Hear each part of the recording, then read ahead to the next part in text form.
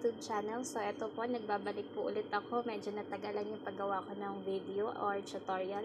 So guys, ang next na tutorial ko po ngayon ay ang paano gumawa or paano mag-edit or paano maglagay ng thumbnail sa inyong video sa YouTube. YouTube. So, yun guys, um, first po natin ay kung paano mag-edit ng thumbnails. Ngayon guys, uumpisahan na po natin dahil um, para mabilis lang po siya matapos kasi may word po po ako. So ayun guys. Um, first po niyan is nag edit po ako sa PixArt. So pupuntahan po natin yung PixArt. So eto na po siya. I-click nyo lang po yan.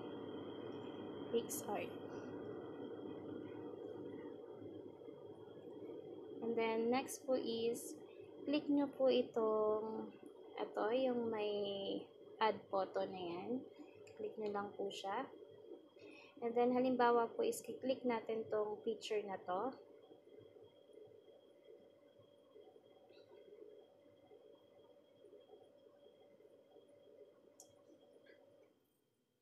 Hmm. Tagal ng ads. So, ayun guys, kamusta naman po kayo? Um, okay lang po sana at sana matapos na po itong virus na to. So ayun guys. Um, punta kayo dito. Pupuntahan ko tong halimbawa po ito po yung gagawin ko ng ads. So ayan. Sa akin po kasi ganito lang po ako mag-edit. Yung mga nilalagay ko sa mga video ko na thumbnail. So pupunta po tayo dito sa may tools. Ano? Hindi po pala tools sorry sa akin po dito sa may cut out. And then ito po, person. Ganyan lang po kasi yung pag-edit ko kasi hindi ko na po siya masyadong inaan para mas mabilis lang po siya. And then save po itong save. Yan.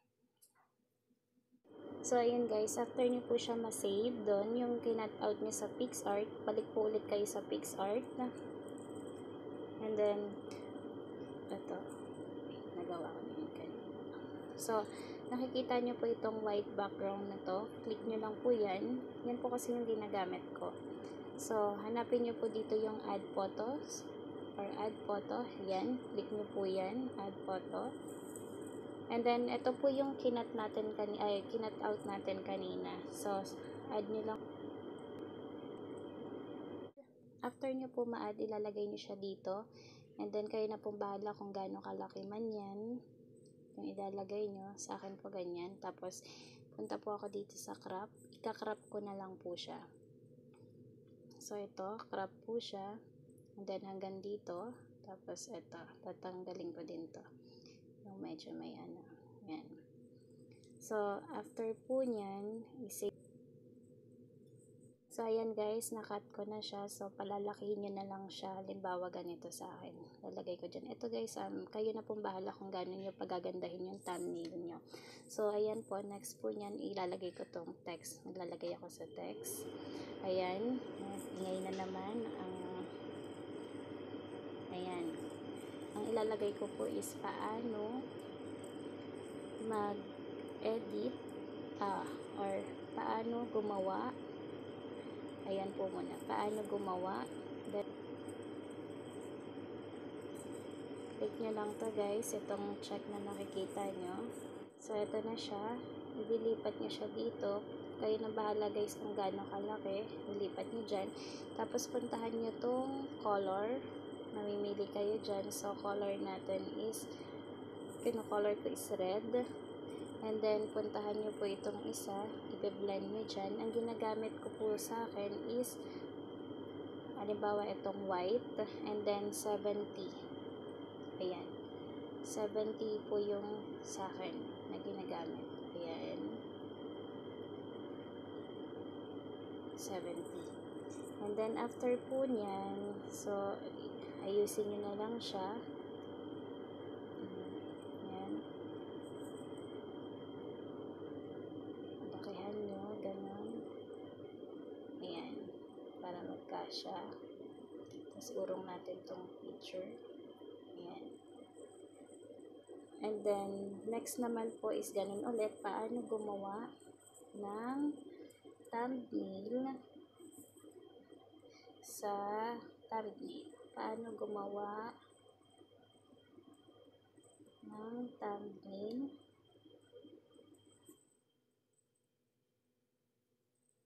Paano gumawa at maglagay at maglagay.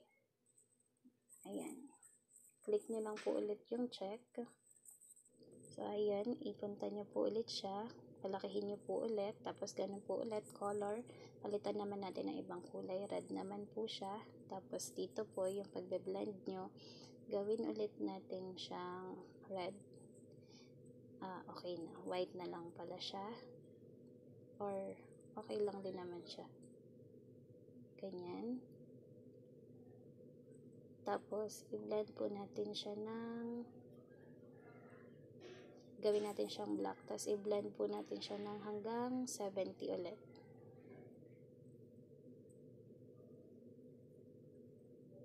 Seventy. Ayan.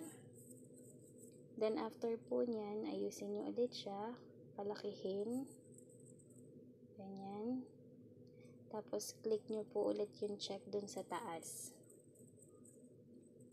Next naman po is, punta ulit kayo dito sa may text ulit. Ayan.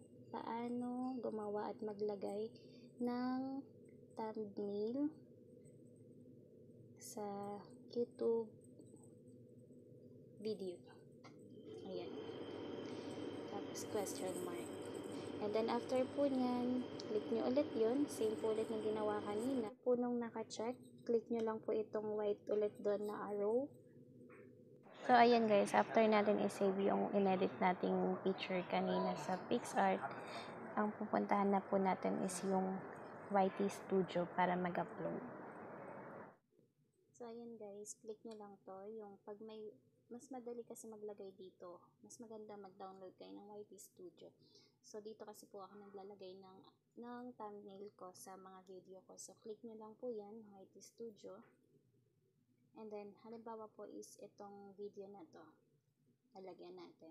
So, click nyo lang po yung video na yan. And then, nakikita nyo guys itong pencil sa taas. Yan. I-click nyo lang po yan. And then after, ito po, yung pencil po ulit dito. Dahil po kasi may, may ano na siya, may, ito, may pencil na siya. So, or, sorry, may ano na siya, may nakalagay na po siyang thumbnail. So, click nyo lang po yan. So guys, dito nyo makikita, nakalagay po dito ngayon is change kasi may thumbnail na po yung video ko. So, pag wala pa pong thumbnail, yan ang nakalagay dyan is upload your thumbnail po yata yung something. Bas, dyan, dyan nyo po siya makikita. So, i-click nyo lang po yan. Sa akin guys, hindi ko na siya papalitan ha kasi meron na po kasi yung video ko. So, ito po yung inedit natin kanina. Ito. I-click nyo lang po yan. And then, nakikita nyo to guys, ito. Yung select na yan. Ayan i-click nyo lang po yung select na yan. After po nun, neto, neto.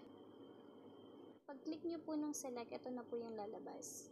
So, ayan na po, napalitan na po ng thumbnail. So, kiklik nyo po yung save. Sa akin guys, hindi ko na siya isi-save kasi mapapal ma may thumbnail na po yung sa akin. So, ganun lang siya ka-simple guys na gumawa or mag-edit at maglagay ng thumbnail sa inyong video. So, yun guys, nung una hindi ko alam. Um, gusto ko lang, gusto ko lang din po ituro kung paano sa mga nag-uumpisa po katulad ko, gustong gumawa ng video, mga ganun. Um, sana po uh, nakatulong po itong video na to. At thank you po sa inyo. Um, sorry din po kung medyo natagalan yung upload ko. At so, yun guys, thank you po. Um, maraming maraming salamat po. Sana po um, na may natutunan po kayo sa video na to. At guys, kayo na rin po bahala kung paano nyo pagagandahin yung thumbnail. So sa akin, simple lang po siya nilagay. Hindi ko na po siya nilagay ng mga sticker. So itinuro ko lang po kung paano siya mag-edit, kung saan kayo mag-edit na application, at kung paano po siya i-upload. So ayun guys, maraming maraming salamat po. See you po sa next video. Thank you!